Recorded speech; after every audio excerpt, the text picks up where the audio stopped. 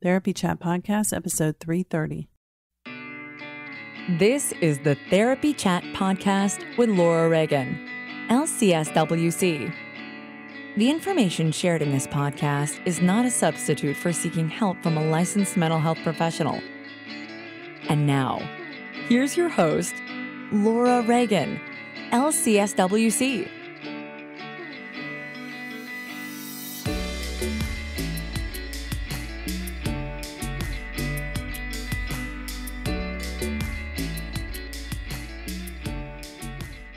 Today's episode is sponsored by Trauma Therapist Network. Trauma Therapist Network is a platform for finding a trauma therapist, learning about trauma, and understanding about how trauma shows up in our lives and what the healing process can look like. Go to www.traumatherapistnetwork.com to learn more. This week's episode is sponsored by Therapy Notes, the number one rated electronic health record system available today. With live telephone support seven days a week, it's clear why Therapy Notes is rated 4.9 out of 5 stars on Trustpilot and has a 5 star rating on Google. Therapy Notes makes billing, scheduling, note taking, and telehealth incredibly easy. And now, for all you prescribers out there, Therapy Notes is proudly introducing ePrescribe. Use coupon code CHAT or click the link in the show notes to get two free months at therapynotes.com. Hi, welcome back to Therapy Chat. I'm your host, Laura Reagan, and I hope you heard last week's interview with Mary Sue McCarthy, LCPC. I love talking with Mary Sue about her equine work. My personal experience with interaction with horses has been deeply meaningful and life changing, really. So this week, I'm replaying an episode that I recorded a few years ago when I had a profound experience interacting with a horse. And I was so inspired afterwards that I just immediately needed to write down how I felt. It was so powerful.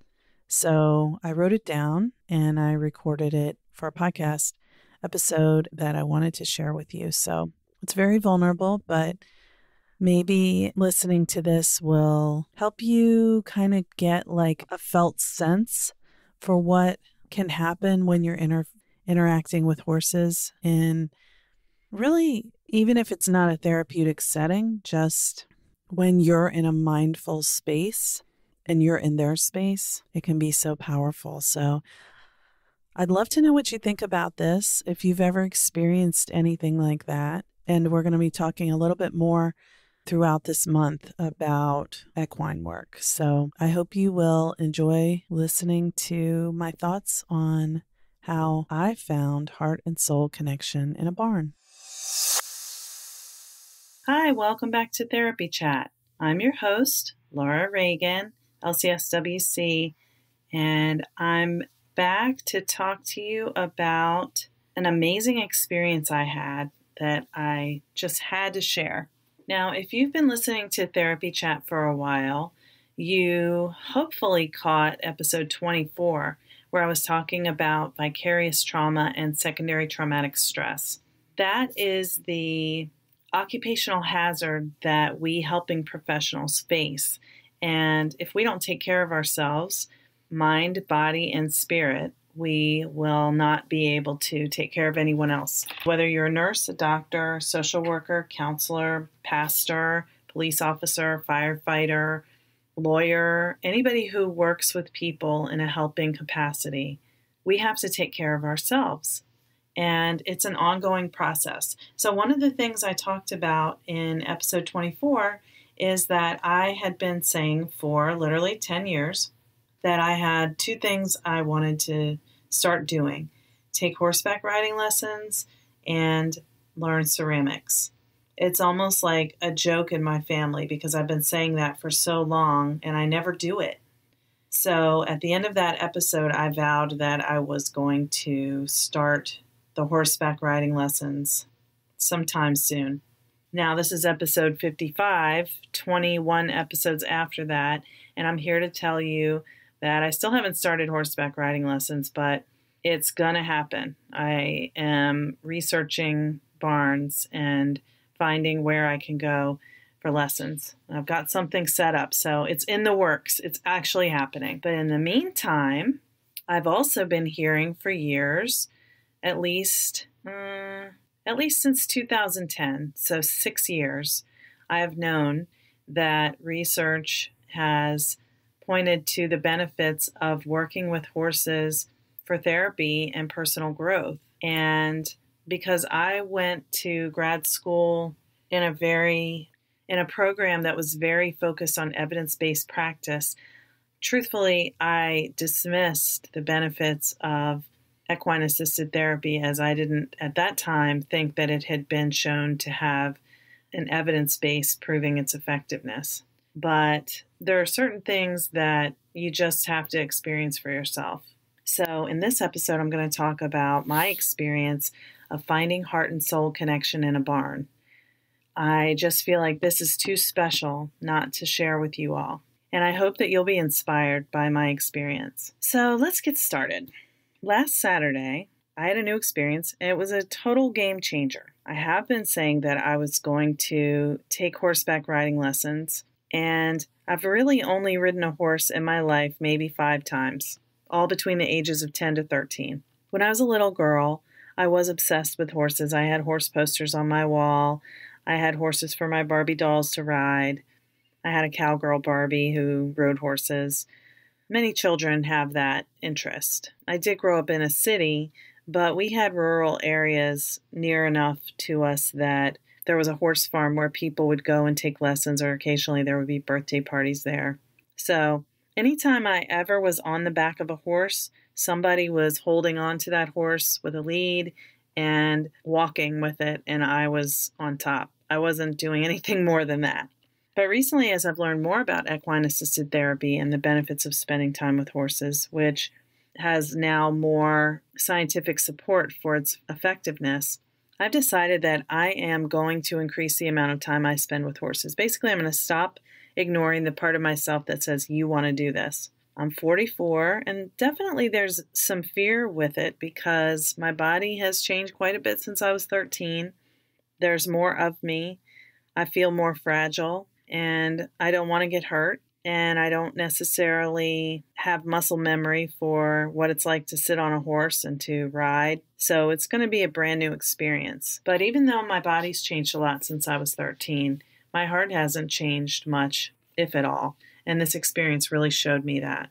So before I tell you more about what happened on Saturday, let me give you some information from EAGALA, which is the Equine Assisted Growth and Learning Association. And you can read about their work at www.eagala.org, E A G A L A.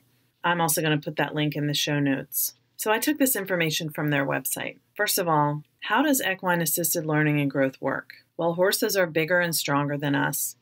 They're powerful creatures, and being around them can feel intimidating, which creates an opportunity to get up close and personal with our own fears. Hint vulnerability. Like humans, horses are social creatures who live in herds. They have a social hierarchy in terms of how they relate to one another in the herd. Working on how we relate to horses is a way for us humans to work on how we relate to other humans, as well as our relationships with ourselves. Because horses are prey animals, they rely on nonverbal cues to stay alive. Their lives depend on accurately reading these cues. And humans are predators. But for some reason, horses are willing to interact with us anyway, if we let them know we're safe. I don't know if that would be true of undomesticated horses. Probably not. But the horses that we would have access to are willing to give us a chance. Horses know when what we're saying and doing don't match what we're feeling and sensing. Even though we might not know, they reflect back to us what we're feeling and sensing, or the incongruence between our feelings, sensations, words, and actions even or especially when it's outside of our own conscious awareness. To me, this is a really important metaphor because I was explaining today in a therapy session that children read nonverbal cues. Children watch our faces to see if our words and our actions and our nonverbals match. And children don't feel safe when the adults in their lives tell them, I'm happy, but they're crying or nothing's wrong, but they look sad. Or when they say, I love you, but they're cruel to the child. That's what leads a child to feel unsafe when the when the nonverbal cues don't match with the words. So it's the shadow again. Yeah, once again, the shadow plays a part in this story. Horses can bring our shadow to our awareness. And I think that happened with me on Saturday. So, someone once told me, and I know they were right once the shadow is out and in the light, you can't ignore it anymore. I'm just finding that to be true again and again. And if you have no idea what I'm talking about when I say the shadow, check out past episodes of Therapy Chat, episode 53, when I talked about secrecy, shame, and the shadow, episode 38 with Rini Beck, LMFT, episode 40 with Lourdes Viado, MFT, PhD, and episode 42 with Carrie Nola. Those will be in the show notes too. So here's what happened over the weekend. I want to spend time with horses and I want to get to know myself as best I can.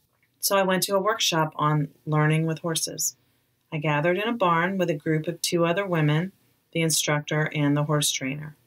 I really didn't know what to expect because I haven't done anything like this before, although I have heard about it from fellow therapists, so I guess I had a little bit of a head start on knowing what the experience might be like, but I felt very uncertain. The whole thing was on the ground. We didn't mount the horses at all, thankfully, because I still don't know how to. We were introduced to two horses, a darker colored one and a lighter colored one. I felt super vulnerable and nervous.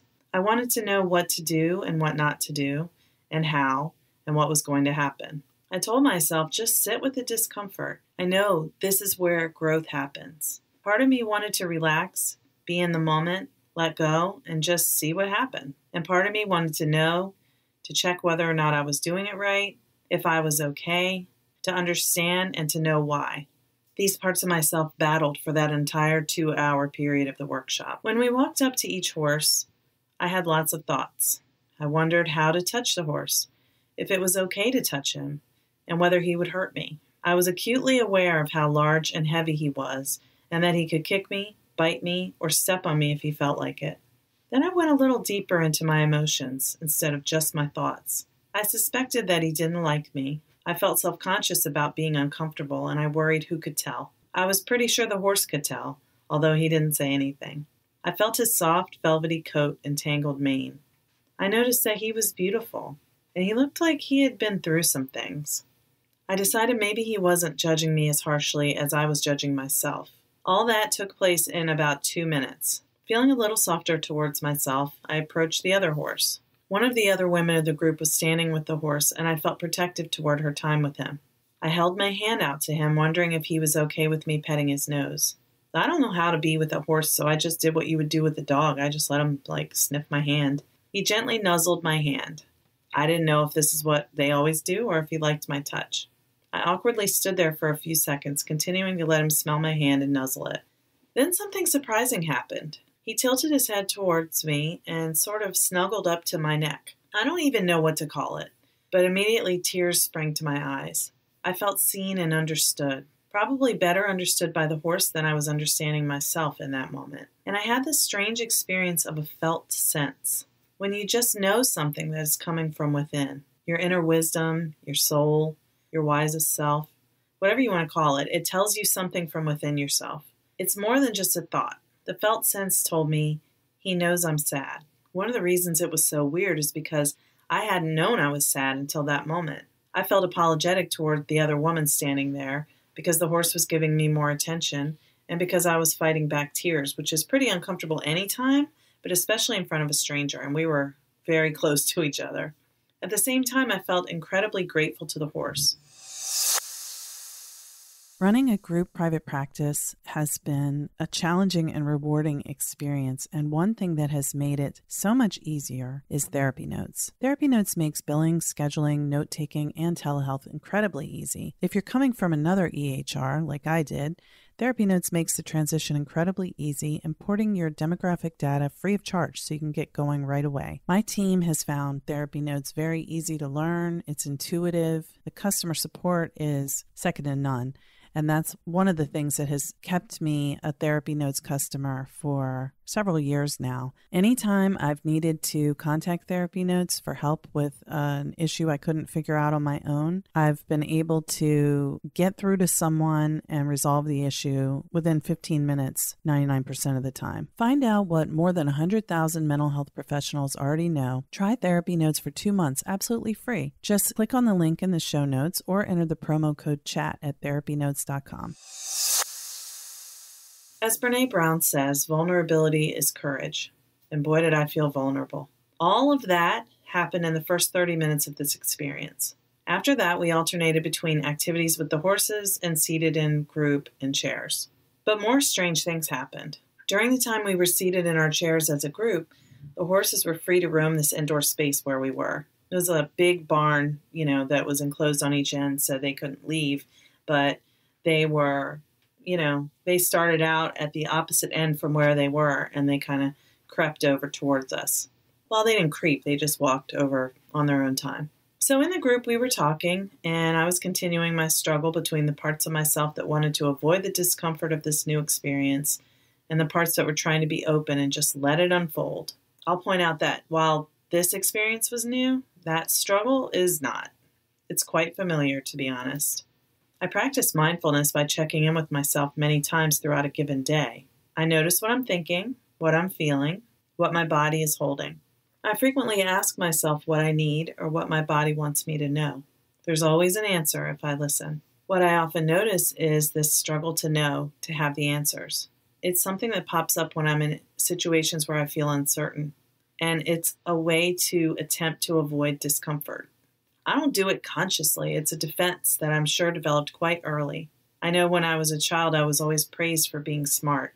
And no matter how much I may have criticized myself throughout my life, there's one quality I have that I never doubted, and that's being smart. I received much attention, love, and acceptance for being smart when I was a child. Being smart was the one thing I could not get wrong.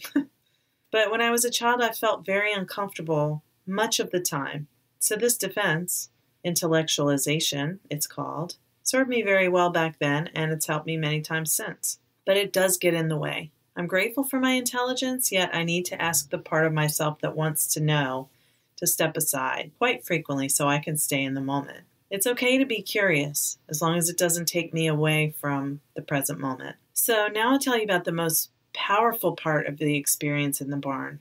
And this is this is vulnerable to talk about. But after the horse snuggled up against me, while we were sitting in the chairs as a group, the horses moved around the barn, and slowly they moved towards us, like I mentioned. Eventually, both horses came to stand behind me. While our group talked in a circle, one by one, the horses slowly moved forward until both horses were standing with their heads over me. And it's hard to explain how this was, but to the people who were facing me, they couldn't see my face. They could only see each horse's head over my each of my two shoulders and their heads were crossed in front of me. So they were blocking me from seeing the other group members and they were blocking the other group members from seeing me.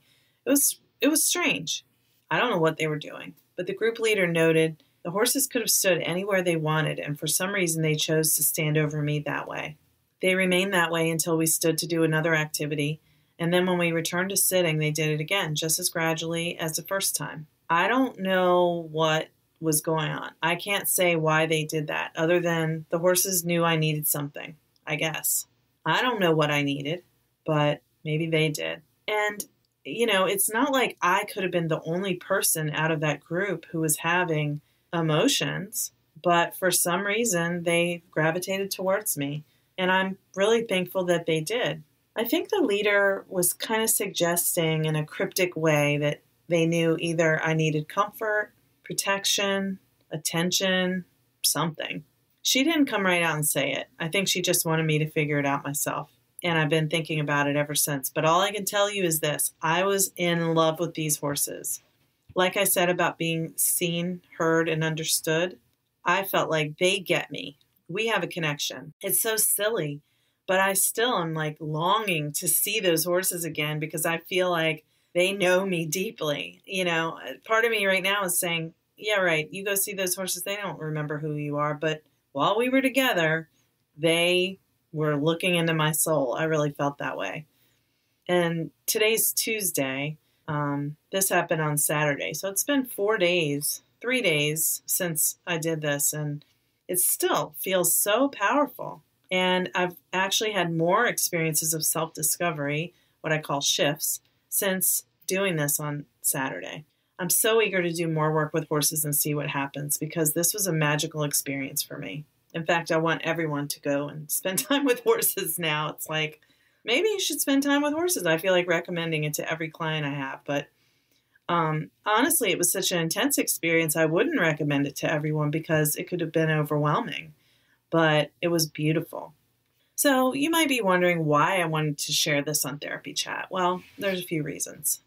First, I want to document this experience because it was special and I don't want to forget. But I want you who are listening to know that spending time with horses can be incredibly powerful. It's almost unbelievable how powerful it can be. And it's really hard to describe. There are some things you really do just have to experience for yourself. And I hope this this episode will encourage some of you who are listening to try equine assisted learning and growth. So, the last reason why I'm sharing it here on Therapy Chat is because I believe it's important as a therapist that I live the way I encourage my clients to do. I've been on a journey of personal growth for intentionally only maybe two years, but probably my whole life. I believe we never stop growing and learning unless we refuse to try and we must continue pushing ourselves outside of our comfort zones because that's where growth happens. I can't take my clients anywhere that I haven't been, and the more I allow myself to be vulnerable and expose myself to new experiences, allowing me a deeper connection with myself, the more capable I become of walking alongside my clients as they're on the, that journey. I've seen this to be true, and I know as my connection with myself deepens, my skill as a therapist will deepen as well. Next week, I'm taking time to venture deeply inward as I spend time with an intuitive coach in California to reflect on the direction of my business in the year ahead and do more shadow work. I I know that's going to be intense. This is also going to be a reunion with some beautiful souls who I know only online who live all across the country, and I'm so honored that I'll be able to spend time with them there. And soon after that, I'll be heading to the beautiful Hudson Valley of New York in November for a retreat with horses and fellow therapists and other healers. I can't wait. I cannot wait. Honestly, I've been bitten by the horse bug, and I can't wait for my next opportunity to spend time with these creatures. And part of me says it has to be the same horses that I spent time with before, but that intellectual part of me knows it doesn't have to be. It's any horses. And yes, I am still planning to take horseback riding lessons. I'm going to visit a barn this weekend to see if that's the right place for me to do my lessons. And I could just choose the first place, but I'm not being, you know, I'm not doing analysis paralysis here. Um, I actually want to be sure that I find a place that's going to feel right and not rush into it. Because this is a new arena for me literally. And, you know, in Brene Brown's work, she talks about these arena moments. This is where I say, Can I do this? I'm 44. Can I start horseback riding now? You know, I'm not this, I'm not that, I'm not this, I'm not that. Am I going to be able to do this? But I'm going to try. So I'm daring greatly. And if you're not sure what I'm talking about, check out that book, Daring Greatly by Brene Brown. So that's the story of how I found my heart and soul connection with two horses and with myself in a barn last weekend. I hope it somehow inspired you to get more connected with yourself. Let me know. I'd love to hear from you. And if you're interested in walking together on your journey of personal growth and you live anywhere near Baltimore, Maryland, just get in touch with me. Send me an email at laura at laurareaganlcswc.com or just go to my website and find the Contact Me tab. Thank you so much for listening to Therapy Chat. I hope you've been inspired to step into a new arena in your life. Listen in the weeks ahead for my interview with Charlotte Easley, LCSW of Kentucky, who's going to talk to us more about equine assisted therapy and her model she uses with survivors of sexual assault and other traumatic experiences. I can't wait to share that with you. And please remember to go to iTunes and leave me a rating and review. Let me know what you like and what you don't like about Therapy Chat. I'd love to hear from you. Thank you to Therapy Notes for sponsoring this week's episode. I do love Therapy Notes. It's such an asset to my business and makes my job as a practice owner and a therapist much easier. Try it today with no strings attached and see why everyone is switching to Therapy Notes, now featuring ePrescribe. Use coupon code CHAT or click the link in the show notes to get two free months at therapynotes.com. Thank you for listening to Therapy Chat with your host, Laura Reagan, LCSWC. For more information, please visit therapychatpodcast.com